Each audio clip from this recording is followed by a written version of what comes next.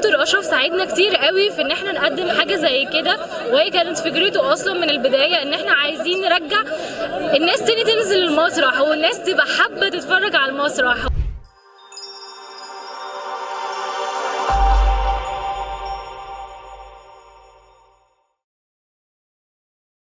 أنا نور الدريني طالبة في المعهد العالي للفنون المسرحية السنة الرابعة آه كنا بنقدم مسرحية آه المسرح وحشنا تحت إشراف وإخراج دكتور أشرف زكي. آه كنت بقدم شخصية سوسو من سكة السلامة وهي دراما ونكت شوية عن باقي غير العرض يعني.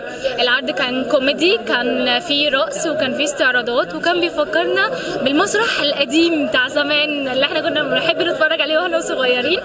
ودكتور أشرف ساعدنا كتير قوي في إن إحنا نقدم حاجة زي كده. وهي كانت فكرته أصلا من البداية إن إحنا عايزين نرجع الناس تاني تنزل المسرح والناس تبقى حابة تتفرج على المسرح ويبقى في استعراضات وفي غنى والناس مبسوطة وهي بتتفرج. مش تقعد مثلا 3 4 ساعات وتحس بملل. لأ اللي هو إحنا لو قعدنا 3 4 ساعات بس بنضحك وبنهزر فمش هنبقى حاسين بملل وهنبقى مبسوطين. فالحمد لله إن إحنا قدرنا نعمل ده. وإن أنا قدرت أعمل الشخصية طبعا من أستاذة سميحة أيوب طبعا فليها الشكر والتقدير طبعا ولزملائي وإخواتي في العرض وكلهم كانوا حلوين ومبسوطة إن أنا موجودة النهارده مع دكتور أشرف زكي. في صعوبات في الشخصية؟ صعوبات في الشخصية؟ أكيد.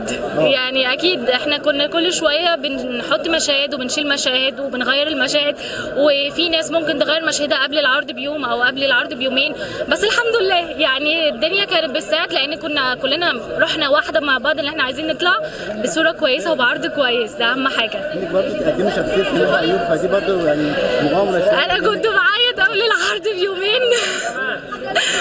حبيبتي فاللي هو قعدت اعيط واللي هو لا مش عايزه اعمل كده ومش عارفة إيه بس الحمد لله طبعا والدتي ربنا يخليها لي.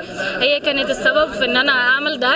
قعدت تدعي لي كتير قوي وقعدت تقول لي لا انت قدها واعملي وهي وثقت فيا وصحابي وزمايلي ودكتور أشرف طبعا طبعا طبعا. ده دكتور أشرف بقى يقول لي انت قدها انت قدها وانت هتعملي وانت شاطرة وكل شوية support ليا. واللي هو انت تقدري تعملي أي حاجة وتغيري أي حاجة وما تخافيش. أنا كنت خايفة شوية إن العرض تراجيدي والباقي كوميدي فاللي هو يعني الناس هتستثقل دمي شوية. فالحمد لله لأ يعني اتبسطت وكان أحلى حاجة عملتها يعني بالنسبة لي في ساعة اللي دخلت الأكاديمية. الحمد لله. لأ أنا دي تخرج بس بالنسبة لي ده العرض الأقرب إلى قلبي يعني. الحمد لله. بقى في المجال الفني آه، آخر حاجة كنت عاملاها كان مسلسل اسمه أنا وهي وكنت عاملة مسلسل ملوك الجدعنة وكنت عاملة فيلم اسمه حظر تجوال آه، مع أستاذ أمير رمسيس وشخصية آه، شمس. وكنا في مهرجان القاهرة السينمائي الدولي. وبس والحمد لله خدنا فيه جوائز كتير وعملت كذا حاجة. ولسه واخد بالظبط آه، أستاذة إلهام شاهين طبعا عملاقة وعملت قدامها ثلاث مشاهد فكانت رهبة بالنسبة لي فالحمد لله يعني.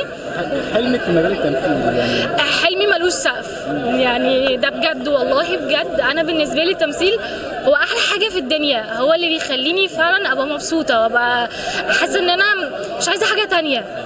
طبعا ربنا يخلي لي أهلي.